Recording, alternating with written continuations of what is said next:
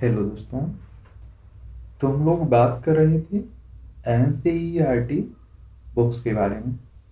तो अभी तक हम लोग कक्षा छठवीं की, कक्षा सातवीं, कक्षा आठवीं की सभी बुक्स हम देख चुके हैं, जो हमारे लिए सिविल सर्विस के लिए ज़रूरी होती हैं।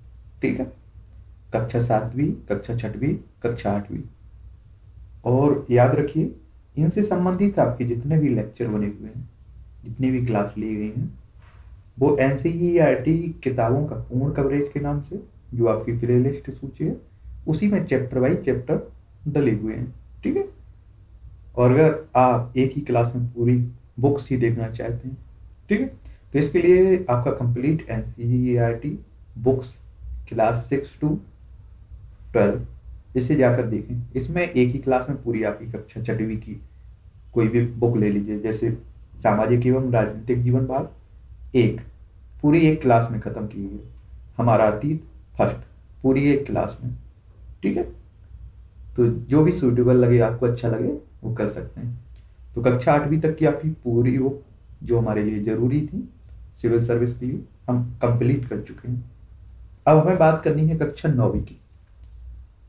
तो नौवीं में हमें देखना है पाँच बुक कौन कौन सी? लोकतांत्रिक राजनीति फ़र्स्ट, समकालीन भारत फ़र्स्ट, अर्थशास्त्र, भारत और समकालीन विश्व फ़र्स्ट, और पांचवी विज्ञान। तो आज की इस क्लास में हम शुरू करेंगे लोकतांत्रिक राजनीति एक।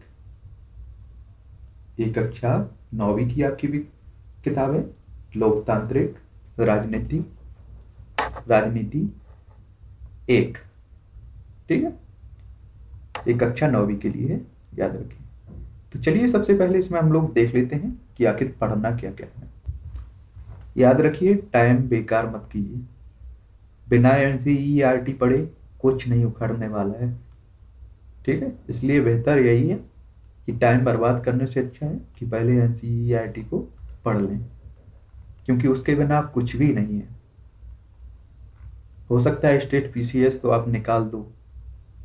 लेकिन सिविल सर्विस निकालना बिल्कुल भी मुमकिन नहीं है बिना एन के। एन सिविल सर्विस के लिए आपके रामबाण रामबाण समझ रहे हो? तो ये आपकी विषय सूची। क्या है? विषय सूची। तो इसमें बात करेंगे, एक अध्याय में देखेंगे लोकतंत्र क्या है। लोकतंत्र क्यों एक अध्याय, फ़र्स्ट अध्याय हमारा ये होगा। अध्याय दो में हम बात करेंगे संविधान निर्माण। संविधान निर्माण। अध्याय तीन में चुनावी राजनीति। अध्याय चार में संस्थाओं का कामकाज। अध्याय पाँच में लोकतांत्रिक अधिकार। क्या देखेंगे? लोकतांत्रिक अधिकार। तो ये पाँच आपका, पाँच पाँच आपके अध्याय होंगे, ठीक है? चैप्टर बाई चैप्टर हम लोग इन्हें खत्म करेंगे।